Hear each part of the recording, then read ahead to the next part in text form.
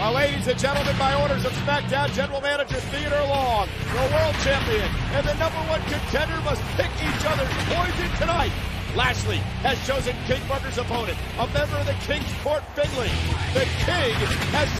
Yes, yes, you are my royal knights. And Bobby Lashley think he can put one over on me, that peasant, by naming you Finlay as my opponent tonight. And I'll pick your poison match.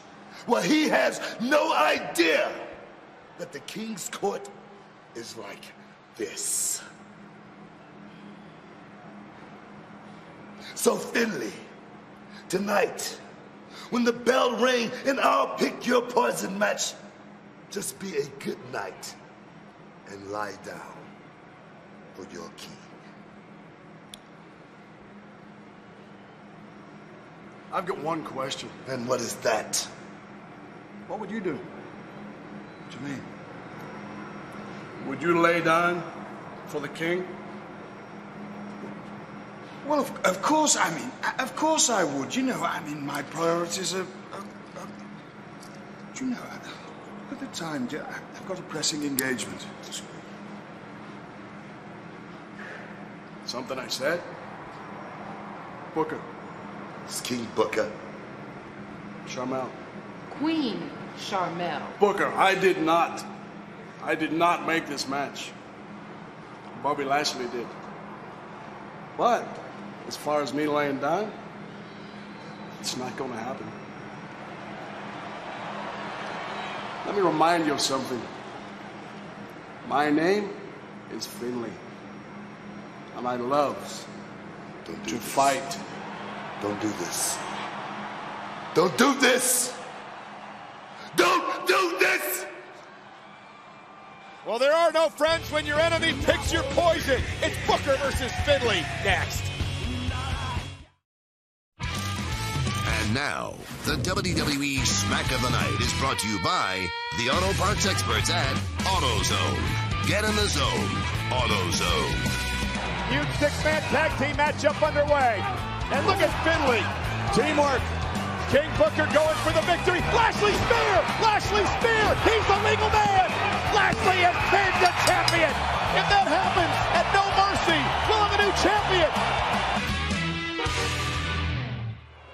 We are back on Friday Night SmackDown. There's the World Heavyweight Champion King Booker, but JBL, oh, if Lashley does what we just saw Sunday at No Mercy, we will have a new World Champion. Yep, that's Sunday in No Mercy, Michael. That's our main event of a major pay-per-view for SmackDown. What the hell is Teddy Long thinking making a pick, pick your poison match? Oh, well, and allowing that pea-brain, cannonball-headed Neanderthal, Bobby Lashley to decide who the king will face. That Hilmy, that is not the inmates running the damn asylum. Asylum, that is. Whatever, jackass. But nonetheless, Lashley did make this next matchup. Lashley has put King. Who has ever heard of a wrestler making a matchup for another oh, wrestler? Hey, it's a first for SmackDown. That's what General Manager Theodore Long is all about. What's wrong? It's wrong. Well, ladies and gentlemen, tonight's oh, SmackDown is brought to you by The Grudge 2 in theaters Friday, October 13th. And by Burger King, who remind you to have it your way. And by the auto parts experts at AutoZone. Get in the zone. AutoZone. And King Booker better be in the zone here tonight because his, uh, well, his fellow court member, Finlay, says he will My not name is Finley. lie down. I He's got love the to fight. out because he's royalty. You didn't notice that, Michael, because you're a common person. You're a peasant like that pea, pea-headed Bobby Lashley. And what in the hell is Teddy Long thinking letting Bobby Lashley make a match for the king? It's wrong, Michael. It's wrong. It's wrong. It's damn, damn wrong. King Booker And I don't like it. you made your point.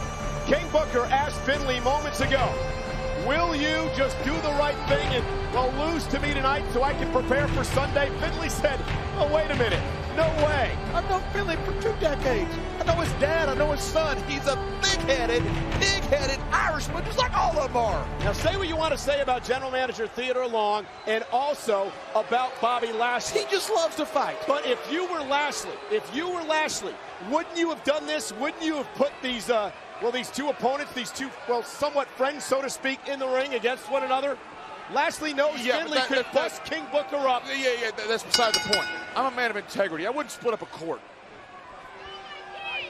And by the way, I believe William Regal would do the same, the very same thing that Finlay is doing. When posed a question, Regal never answered it. He wandered away. Of course he would. He's an Englishman. And King Booker. Everybody on those aisles over there, they once owned the entire world. They're mad. They wake up mad. They fight each other if they can't fight anybody else. Straight out for your king. Straight out for your king. King Booker screaming at Finlay, lay down for your king. Booker incensed that Finlay will not do the right thing in his mind. And